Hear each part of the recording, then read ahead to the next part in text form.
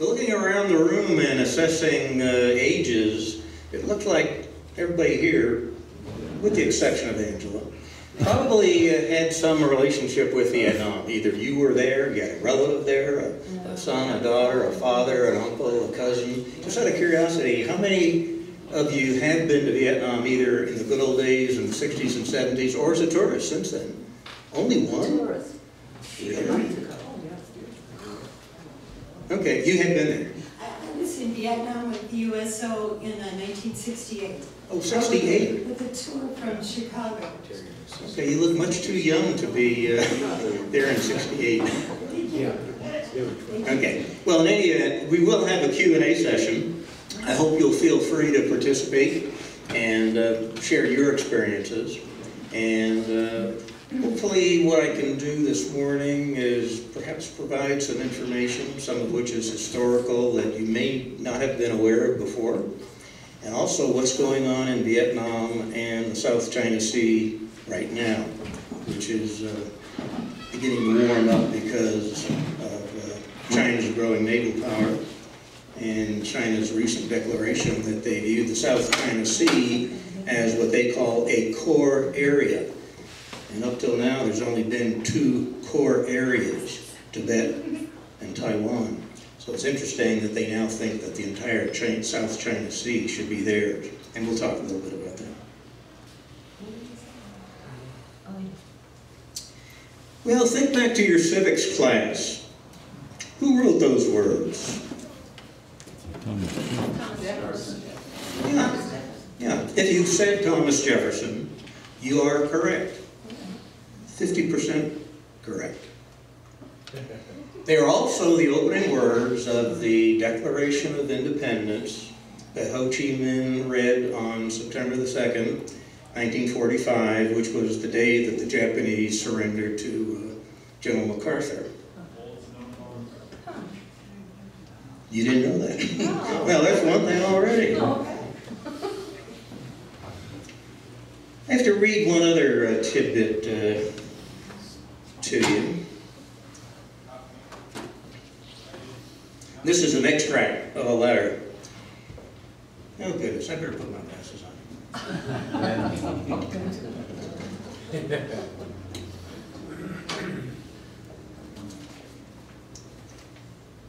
This is an extract. Security and freedom can only be, be guaranteed by our independence from any colonial power and our free cooperation with all other powers.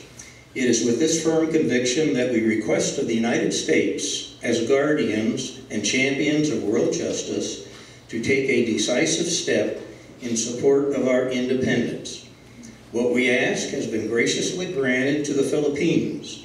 Like the Philippines, our goal is full of independence and full cooperation with the United States.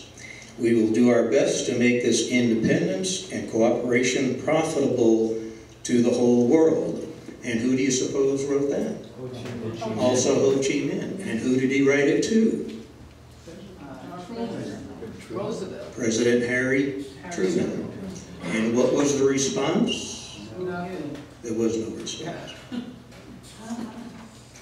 Had there been, we might have seen a different course of history subsequent to World War II. Uh, this, of course, you all recognize as the, uh, the old presidential palace. Uh, it's now called the Independence Museum.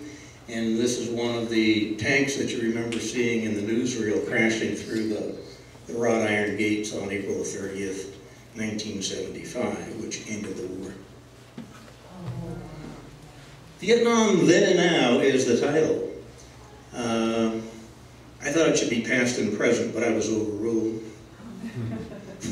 and what we're going to do then is, is both history-wise and also photographs and scenes, kind of show you what is going on in Vietnam, what things were happening then and what is happening now. Uh, as you probably all know, Vietnam is rapidly uh, industrializing. The government's uh, objective is to be fully industrialized by 2020. Well, this kind of typifies uh, then and now. This, uh, this is the right hand, well, I'm looking north. This is the east bank of the Saigon River. And as you can see, it's dense jungle. Uh, about the only thing difference between now and when the French uh, occupied Vietnam is they do now have some electricity in most of these little shacks. Basically, everybody over here is a fisherman. They've got their boats, their old little skiffs lined up against the, uh, the riverbank. The opposite side of the river, the left side of the bank, which by the way used to be a Cambodian uh, outpost way back in the uh, 14 and 1500s, is obviously uh, being built up rather rapidly. You've got high-rise office buildings, you've got uh, very nice uh, townhouses out in this area. Uh, Up in the north, this is now looking north, uh, you heard about the Cu Chi tunnels, they're about 35 miles up in that area. Farther over in this area is where Intel has just established its largest plant, its largest manufacturing facility in the world. 500,000 square feet. That's five and a half football fields. Uh, They presently, well, they don't have them fully staffed yet, but the goal is they'll have 4,000 employees. Mostly what they're doing is assembling uh, chipsets for laptops and mobile computer devices. They're not yet assembling computers. The reason they're there, of course, is because labor in China, excuse me, in Vietnam is now considerably cheaper than in China. So the chipsets from here we'll probably be flown up to Shanghai, and that's where they'll be assembled. My iMac was assembled in Shanghai.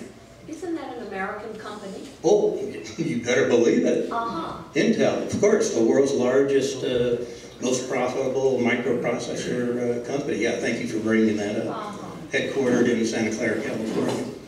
Uh, They've got a big plant you probably know out in uh, north of Albuquerque at Rio something or other.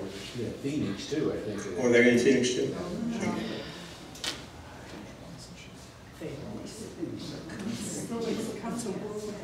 So this is what we're going to talk about today, a little bit about geography and history, uh, some comparative country-to-country facts. We're going to talk about the political structure. It's an interesting structure, and Angela and I have had discussions before about the advantages of long-term planning, which of course does not exist in the United States, because every two years we elect a Congress, and they only spend one year, as you know, campaigning to get ready to raise money for the next year. And then, of course, if you change Congress, you change all the policies and procedures and plans that previously existed. So why we don't have an energy plan? Well, why don't we have any kind of a long-term plan? Uh, we'll talk a little bit about the economy and investments for those of you that might be interested in speculating on Vietnam. Most uh, global analysts will view Vietnam as maybe the next China. They do have to do some things to get their act together, but it's growing very rapidly, as you will see. I want to talk a little bit about human rights, because that's always an issue, although it's not as much of an issue as it used to be, because we need Vietnam to support us militarily in what's happening in uh, Southeast Asia. We'll have time for Q&A, and then we're going to have a little contest, by the way. One of the things we're going to do today is you're all going to become fluent in Vietnamese. And for the person who does the best, then there are a couple of little prizes here. So that's what we're going to do.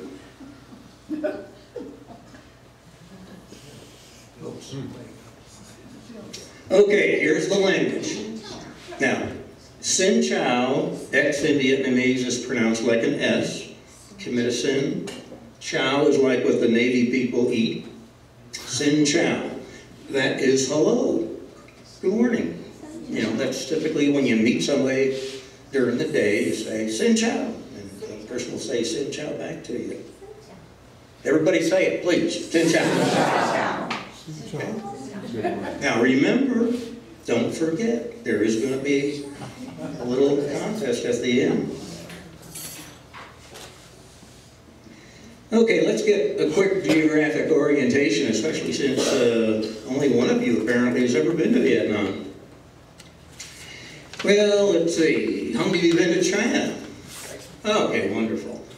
Uh, let's see, here's the Hong Kong, Macau complex up here. You've all flown in and out.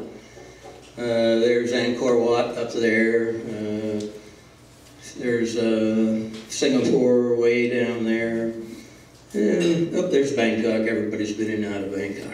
Okay, here's Vietnam, roughly a thousand uh, kilometers along the coast. Um, the areas that are of special interest uh, with respect to the various countries that surround that area, to include Malaysia and the Philippines and uh, the Chinese, this of course is the South China Sea. Now, before I forget, one of the things I had to change in my book, any reference to the South China Sea, they said, you can't call it the South China Sea. It's called the East Sea. East. East. E-A-S-T. Well, because, yeah, Because of the word China. The uh, Paracel and the Spratly Islands you'll occasionally hear about. Uh, the most recent incident was in March last month where uh, some, uh, a Philippine oil exploration company was harassed by some Chinese gunboats because both the Paracels and Spratlys, besides being excellent fishing grounds, are also known to have a lot of minerals and oil, and the water is relatively shallow there. These are really just ar- archipelagos. Uh, afterwards, during the Q&A session, I'll tell you a little bit of the history as to why China thinks that it owns the South China Sea. And the reason, well, I'll tell you the reason right now, is in order to gain Chinese support during the, uh, what we call the Vietnam, they call, Vietnam War, they call the American War. The leader of North Vietnam, at the time was a fellow named Pham Van Dam. Ho Chi Minh had already died. In correspondence with Zhou Enlai, who was the premier of China, Pham Van Dam, in writing, acknowledged the fact that China owned the South China Sea. Oh. So China naturally assumed it controls the South China Sea. That's now a bone of contention, and the Vietnamese officials now will say, well, the only reason we did that is we needed their support. So they have just chosen to kind of pretend that it, it never happened. That's a political issue in, in Vietnam as well as in China. A little bit about history. Uh, for about 800 years, China uh, ruled Vietnam as a province. In fact, Vietnam, the word Viet in Vietnamese means people. The word Nam in Vietnamese means south or southern. So basically, Vietnamese are southern people. Southern to what? Southern to China. About the time Coronado was uh, looking for the seven cities of uh, gold in the United States, the Portuguese had worked their way around the Cape of Good Hope, past the Indian Ocean, and were now in the process of setting up commercial trading posts like Macau, and also uh, Da Nang and Hoi An on the uh, coast of uh, Vietnam. In fact, uh, everybody's heard about Hoi An, I'm sure. It's one of the UNESCO World Heritage Sites. It's just a little, whoops, I'm sorry, didn't mean to do that one. It's just south of uh, Da Nang, Hoi An is located. Used to be actually the largest trading post along the South China Sea. Now it's just a little teeny town where you go to get your clothes tailored and eat a lot of good meals. Um, French got interested in uh, this part of the world. Don't forget, during that time of the world, that was the age of colonization. We had the British in Thailand and India. We had Germany, France.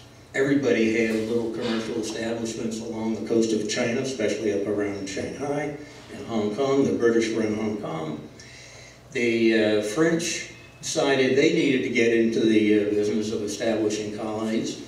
So they set up, set up shop here in Da Nang after bombarding the Vietnamese town, ostensibly because they wanted to protect Catholic missionaries. Uh, about 10 years later, they uh, came down here into Saigon, invaded, and within a very few years, this entire, entire area, Laos, Cambodia, Vietnam, was of course called French Indochina. So that was their recognized colony. Almost immediately, a Vietnamese resistance movement to the French occupation began. Ho Chi Minh is born in 1890 up here just outside the little town of Vinh. Well, it's not a little town, it's a rather big town. Uh, he is educated at the university down here in Hue. While he's there, he gets involved in some anti-French activities. The French are on the lookout for him, as well as some of his other associates. So Ho decides he's going to go down here to uh, Thiet. I've got a photograph from Thiet I'll show you in a little bit. And he teaches school there for one year. Then he goes down to uh, Saigon. He boards a French freighter. He goes to Marseille. And he lives for the next 30 years outside of Vietnam. He lives in London for a while. He lives in New York City for a while. Oh. We think that he was in Boston for a while. We're not sure. He spent